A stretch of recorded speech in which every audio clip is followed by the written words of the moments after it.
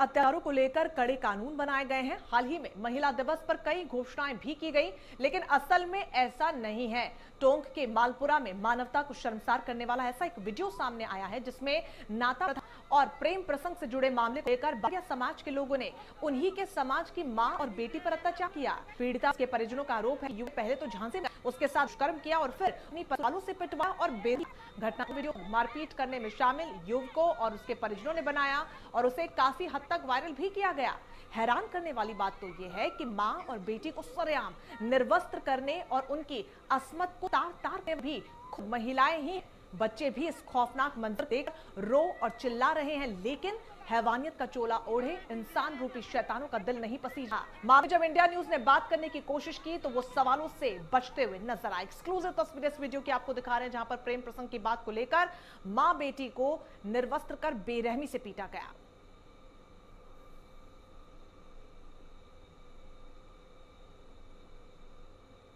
देखिए, ये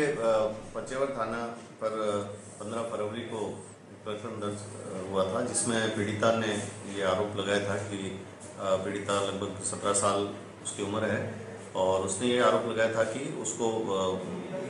जो आरोपी है वो वहाँ से लेके गया और उस साथ से बलात्कार किया है और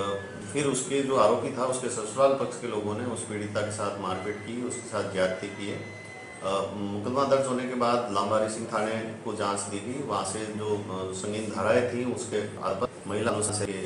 अधीक्षक अशोक जी मोटोलिया इसकी जाँच कर रहे थे और प्रकरण दर्ज होने के बाद जो भी नियमानुसार इसमें कार्रवाई होती है, जैसे उसका पीड़िता का मेडिकल मुआयना, उसके बयान और कोर्ट में जो एक के बयान है घटनास्थल का निरीक्षण वगैरह वो पूर्व आयोग द्वारा किया गया। और उनका स्थानांतरण होने के बाद ये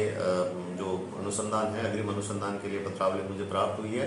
इसमें अब तक जो अनुसंधान किया गया उसके हिसाब से और एफआईआर का जो मजमून है कि पीड़िता को पहले भी तीन तीन, चार बार ये आरोपी जो है, इस आरोपी के साथ भी ये गई है और उसको लेकर इनके कोई आपस में सामाजिक स्तर पर समझौता हुआ है। और, जब ये अभी जो जिस घटना को लेकर प्रकरण दर्ज कराया गया चूँकि आरोपी शादीशुदा था और वो पीड़िता को के साथ रहना चाह रहा था, उसको ले जाना चाह रहा था, इसलिए उसके जो ससुराल पक्ष वाले लोगों ने पीड़िता को पकड़कर उसके साथ मारपीट की इसके इसमें भी अनुसंधान किया जा रहा है। न्यायालय से